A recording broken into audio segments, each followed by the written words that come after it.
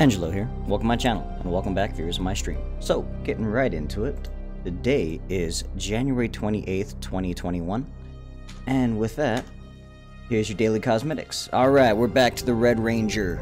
Power Ranger's back in the house. So, again, I don't know, it looks a little more orange to me. I don't know if you guys are seeing what I'm seeing, but it looks orangish. Uh, next, I think we've had this desert camo backpack for a good number of days. That and the leather.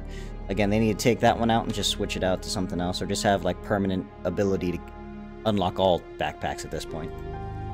Ironsight. Iron Sight's a solid weapon. This is the one that I'm using myself. Um, the other one has a long shot, has like a knife at the end. I don't use that one. Yeah, the Fedora. Fedora's back. Look at that. Can't get rid of it. It loves everything. Next, we got Knight Helmet A. Very uh, Warden-like. Dig it. Goggles, I think, are just waste of time. Um, Scarf. Scarf is eh, hit or miss. It probably looks better on the ladies. Guys, not so much.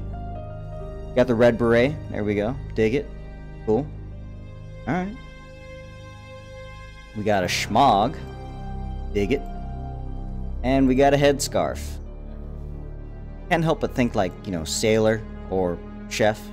what I think. But there you guys go. That is your cosmetics for today. Hmm nothing really amazing. Again, hopefully within five days we'll start seeing those new cosmetics he was talking about. He said give him two weeks. I think if anything, it's been maybe about a week and a half, so I'd say at least one more week, maybe like Wednesday next week, and hope for the best. So thank you guys very much for watching. That's your cosmetics.